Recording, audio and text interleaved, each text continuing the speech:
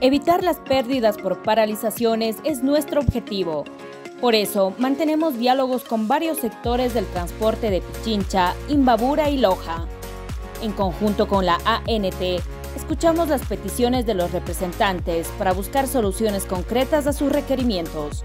Hoy apostamos por la democracia y reactivación del país.